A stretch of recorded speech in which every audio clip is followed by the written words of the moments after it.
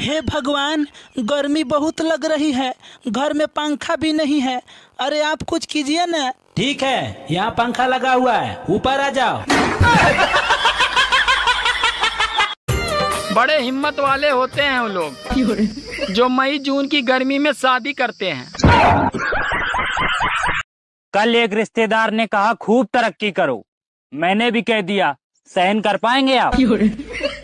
Time time की बात है मेरे भाई। अभी दस बज रहे हैं। एक घंटे बाद ग्यारह बज जाएँगे। राम राम। इन लड़कियों ने तो आजकल के लड़कों को बर्बाद कर रखा है। जब देखो तब। बाबू! हेलो नमस्कार सर। नमस्कार। सर बैंक में लोन चाहिए था। बैंक में खाता है? बैंक में तो नहीं खाता सर मैं तो घर पे खाता हूँ।